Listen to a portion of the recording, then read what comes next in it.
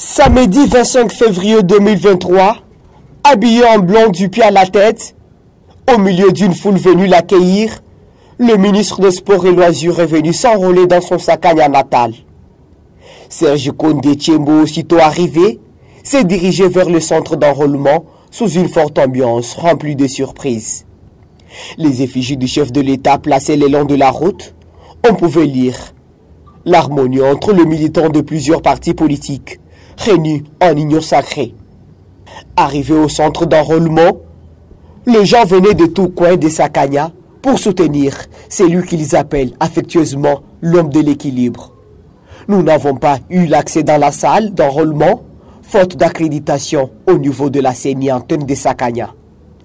Après cinq minutes dans la salle, Serge Condé a obtenu sa carte d'électeur qu'il lie à la réélection de Félix Antoine Tshisekedi Chilombo pour un deuxième mandat.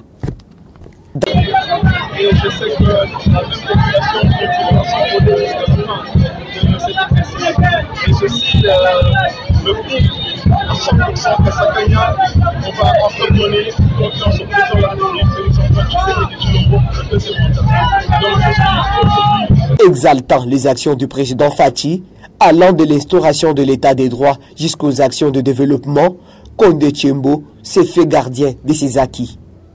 Quant à ceux qui procèdent aux arrestations arbitraires à Sakanya, provoquant également des incidents graves, il les met en garde et encourage les jeunes à braver la peur dans la réclamation de leurs droits.